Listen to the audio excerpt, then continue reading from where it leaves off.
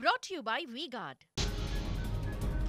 પંચમહાલમાં લગ્ન નોંધણી કૌભાંડ કેસમાં મોટો ખુલાસો. તલાટીએ મલાવ ખાતે પણ બોગસ લગ્ન સર્ટિફિકેટ આપ્યા હોવાનું આવ્યું સામે. વર્ષ બે હજાર પંદરથી બે હજાર ઓગણીસ સુધી મલાવ ગ્રામ પંચાયતમાંથી પંદરસો જેટલા સર્ટિફિકેટ આપ્યા. તલાટી પીએમ પરમારે આપેલા લગ્ન નોંધણી સર્ટિફિકેટ સાચા કે ખોટા તે અંગે તપાસ.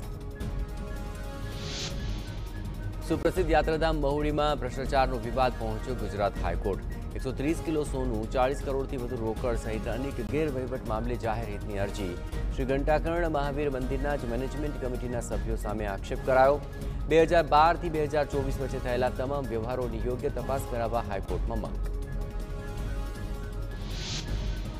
નવસારીમાં વધુ એક યુવકનું હાર્ટ એટેકથી મૃત્યુ વિજલપુરના વનગંગા સોસાયટીમાં રહેતા કૃણાલ પવારનું મૃત્યુ એસિડિટીની તકલીફ હોવાથી ડોક્ટરને બતાવવા જતા દવાખાનામાં એટેક આવ્યો નવસારીની અગ્રવાલ કોલેજમાં કૃણાલ અભ્યાસ કરતો હતો વડોદરા મહાનગરપાલિકાના વર્ગ ચારના કર્મચારીઓનું શોષણ થતું હોવાનો આક્ષેપ વિપક્ષ નેતાએ ફરિયાદ સાથે કમિશનરને લખ્યો પત્ર કોન્ટ્રાક્ટ પરના કર્મચારીઓને પગાર અને અન્ય લાભો ન અપાતા હોવાનો દાવો